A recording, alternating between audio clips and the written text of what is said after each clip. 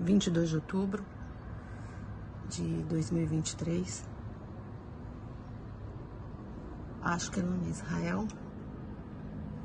A gente está ouvindo sons de, de aviões e helicópteros passando.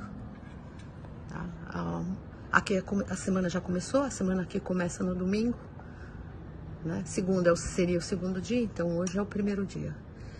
É, a gente já vê aqui o telhado que foi destruído pelos resquícios do, do estilhaço dos, dos foguetes, já está sendo consertado.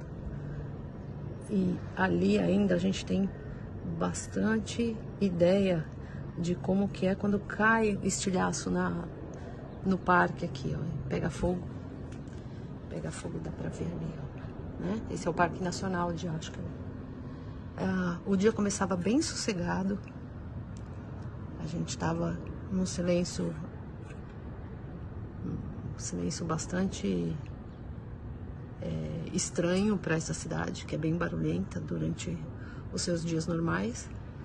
E quando tocou o alarme, tocou a sirene, a gente teve que correr. É, inclusive estava tudo aberto para deixar entrar um pouquinho de ar. E aí eu já corro rápido para fechar a janela. A gente tem a janela de ferro. Eu vou dar uma mostrada para vocês como é que é, tá? Então aqui é a minha janela, a minha visão do mundo aqui. Né? Um lugar bem bonito, sossegado. Não, não, a bagunça não, não liguem para a bagunça. Aqui hoje lavei roupa. Tava lavando roupa quando tocou. Essa aqui é a porta do. É uma porta forte de ferro. Contra fogo, uma trava especial.